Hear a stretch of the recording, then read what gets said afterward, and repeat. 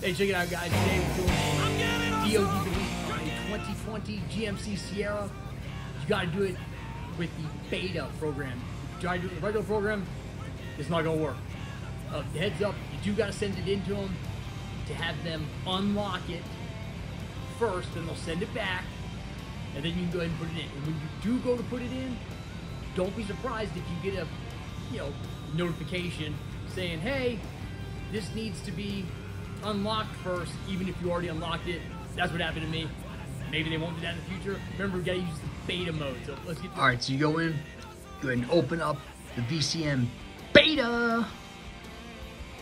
All right, so once HP Tuners opens up, you're gonna click on engine, we're gonna click on fuel, and then we're gonna go here over to the, you know, the lean fuel. Now, obviously, we don't have the, the nice thing. It just says, oh, turn it off or on.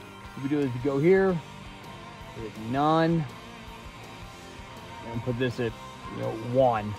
So now, I had to blow this thing up because when it was like this, I couldn't, when it was a smaller screen like this, I couldn't see.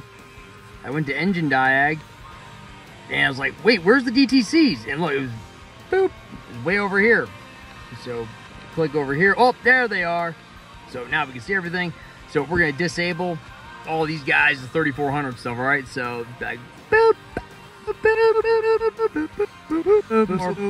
and almost done with the boops.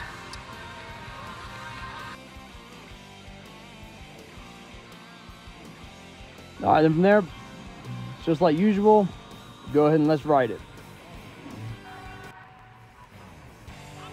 That's it. Go bust the tires loose.